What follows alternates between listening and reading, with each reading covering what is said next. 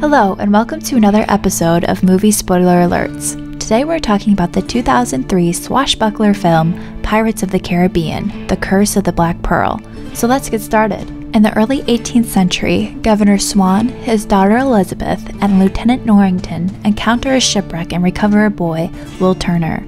Elizabeth discovers a golden pirate medallion around his neck and sees a ghost ship, later revealed as the Black Pearl, vanish into the fog. Eight years later, Norrington proposes to Elizabeth.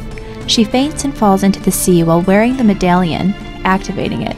Captain Jack Sparrow, who has arrived to commandeer a ship, rescues her. Norrington identifies Jack, and a chase ensues.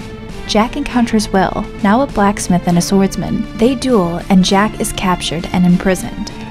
That night, the Black Pearl attacks, searching for the medallion. The crew capture Elizabeth and take her to their captain, Barbossa. Elizabeth, trying to avoid being taken as prisoner, states her last name is Turner. However, she is kidnapped.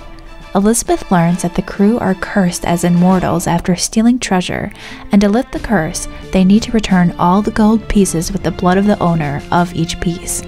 Elizabeth's medallion is the final piece. Will frees Jack, who agrees to rescue Elizabeth upon learning Will's surname. The two commandeer a ship and recruit a crew. It is revealed that Will's father was a pirate and that Jack was the captain of the Black Pearl until Barbossa mutinied and marooned him. Barbossa sacrifices Elizabeth's blood and the final gold piece. However, the curse is not lifted as the medallion belonged to Will's father, making Will the owner by bloodline. Will makes a deal with Barbossa to release Elizabeth in exchange for his blood. Barbossa maroons Jack and Elizabeth on the island Jack was left on before. Norrington comes to the rescue and is convinced to return for Will when Elizabeth accepts his marriage proposal. Jack, Elizabeth, and Will duel with Barbossa and his crew. Barbossa stabs Jack, but Jack reveals that he has taken a piece of gold as part of a coup and survives. Jack shoots Barbossa. Will sacrifices the medallion with his blood on it, lifting the curse. Barbossa dies from the gunshot wound, and the rest of his crew is defeated by the Navy. Jack is to be hanged for piracy, but Elizabeth and Will help him escape. Elizabeth declares her love for Will, and Jack dives into the sea to escape aboard the Black Pearl. Governor Swan gives Elizabeth his blessing to marry Will.